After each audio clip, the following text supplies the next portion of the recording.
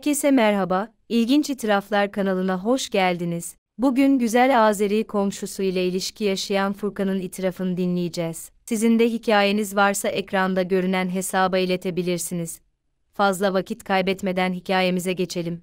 Lütfen dikkatle dinleyin ve sonunda neler olduğunu görürseniz şaşıracaksınız. Selamlar ismim Furkan. Çok sevdiğim ve beni dünyalar kadar seven türbanlı Azeri komşumuzdan ve onunla yaşadıklarımdan bahsedeceğim. Azerilerin bu kadar güzel ve iyi kalpli insanlar olduğunu bilmiyordum. Kendisi çok iyi bir insan ve çok güzel biri. Azeri kızların sanırım hepsi böyle güzeller. Sizlerin de onlarla evlenmesini öneririm. Hayatımın en güzel dönemlerini ve en genç yaşlarımı onunla yaşadım. Şu an 35 yaşında bir adamım. Ruhum çok yaşlandı o gittikten sonra. Keşke normal gitseydi ama maalesef hayatını kaybetti. 5 yıldır hayatta değil. Onsuz yaşamak beni bitiriyor. Her gün gece onu düşünmekten yıpranıyorum. Beş yıldır hiçbir şey eskisi gibi değil. Sevgi böyle bir şey olsa gerek. Onu o kadar çok fazla seviyordum ki anlatamam.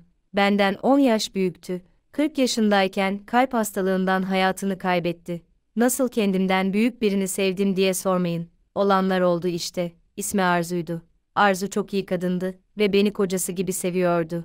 Onun öldüğü gün aslında ben de bitmiştim ama hayatıma ite böyle saçma bir şekilde devam ediyorum. Keşke yine yanımda olsaydı. İlk tanıştığım an aklıma geliyor. İlk yakında takılamazdım param yoktu o zamanlar.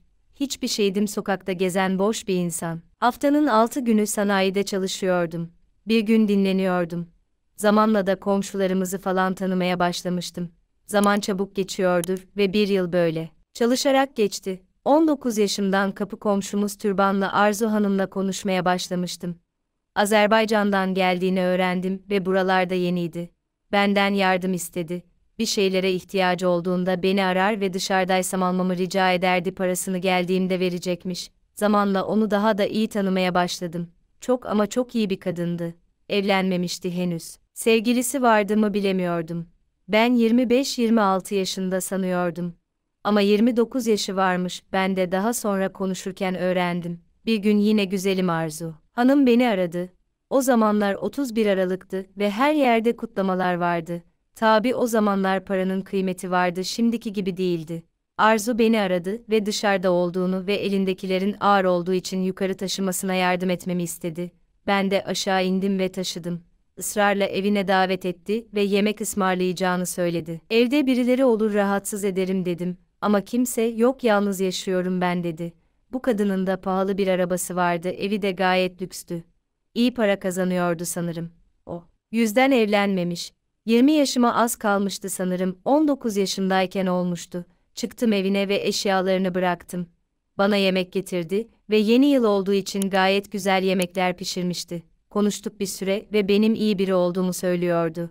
Ailemin olmadığını biliyordu ve bir sorunum olursa da her zaman yanında olacağımı söylüyordu. Ben de işte o an 29 yaşında olduğunu öğrendim. Neden evlenmedin diye sorduğumdaysa bana farklı bir cevap geldi.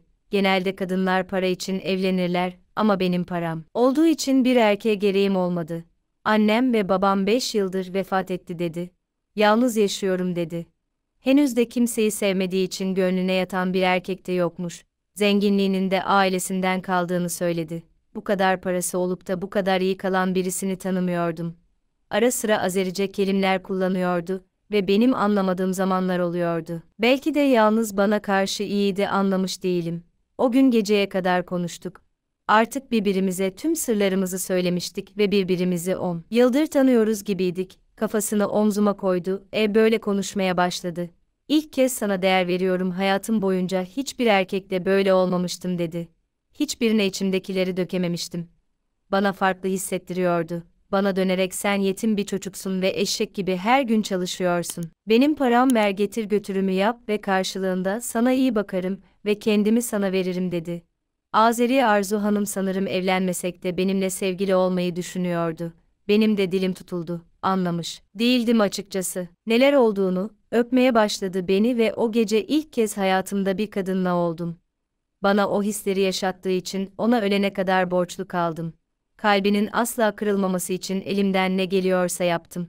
Artık o günden sonra karı koca gibiydik. Bir süre sonra da beni sevdiğini söyledi ama aramızdaki tüm olanları herkesten saklamak zorundaydık. Komşuların onun ismini söz çıkarmasını hiç istemezdim. O yüzden her şeyi gizli yapıyorduk. Bana artık asgari ücrete çalışmam zorunda kalmadığımı söyledi ve artık onun şoförü olmuştum. Bana iyi paralar veriyordu ama ben asla onu para için sevmedim.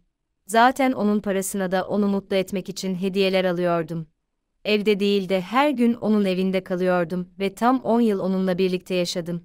Onu her sabah şirketine kadar götürüyor ve oradan da eve getiriyordum. Yurt dışına çıktığı zaman beni de yanında götürüyordu. Onunla tam 10 ülke gezdim. Sokakta hiçbiriyken beni adam etmişti ve yurt dışında Türkiye'deki gibi değil de daha rahattık, karı koca gibiydik. Onunla asla ve asla parası için sevmedim ve şimdi de o öldükten sonra yine asgari ücrete çalışıyorum. Asla parayı sevmedim. Ama beni mutlu eden oydu para değil. Şimdi çok fazla param olsa da yine mutlu olmam. Onunla harcayamıyorsam ne anlamı olur ki? Bilmem anlatabildim mi? Benden 10 yaş büyüktü ama genç gösteriyordu ve kendine çok iyi bakıyordu. İyi besleniyordu ve sağlığına dikkat ediyordu. Azeri kadınların böyle güzel olduğunu ben de onunla anladım. Kadın çok ama çok güzeldi. Aşık olmuştum ona. Ama hayat işte beklenmedik gün seni alır. Arzu benim hayatımda tanıdığım en güzel kadındı. Bir daha asla başka bir kadına aşık olamam. Arzu bana çok değerli bir 10 yıl yaşattı. Bana Furkancım diye sesleniyordu. Onunla her gece aynı yatakta uyumak ve ona sarılmak bana çok iyi hissettiriyordu. Onun da bana sarılması beni dünyanın en mutlu erkeğine döndürüyordu. Keşke yine hayatta olsaydı. Bizimle ilgili bazı dedikodular çıkıyordu. Ama asla hiç kimseye aramızda olanları söylemedim. Onun iyiliği için bu. Olmalıydı. Her gün onunla uyur onunla kalkardım. Ama kimse aramızda olanları bilmedi.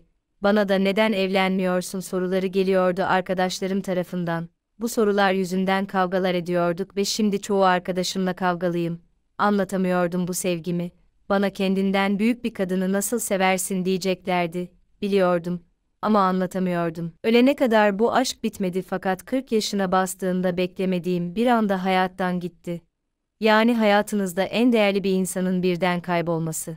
Nedir biliyor musunuz? Sizler belki de tam anlamadınız ama yazdıklarım acılarımı hissetmenizi kısmen olsa da sebep olabilir. Çok fazla da konuşmak istemiyorum. Tüm hayatımı anlattım. Gözlerim doluyor yazdığım zamanda da. Bunları paylaştığınız için teşekkürler. Evet arkadaşlar bir itirafında sonuna geldik. Garip bir aşk itirafı ama dinlemek iyi oldu. Adam para için sevmediğini söylüyor. Ne kadar inanıyorsunuz bilmiyorum. Ama ben inandım. Azeri bir hanımın güzelliğine aşık olmuş. Keşke evlenseler ve sonu daha iyi bitseydi. Ama hayat işte. En fazla bu kadar olmuş. Umarım daha da iyi olur hayatı ve o kadının iyiliğini asla unutmaz. Benim de anlatacaklarım bu kadar. Kanalımıza destek için abone olmayı ve videonu beğenmeyi unutmayın. Yorumlarda düşüncelerinizi paylaşmayı unutmayın. Kendinize iyi bakın.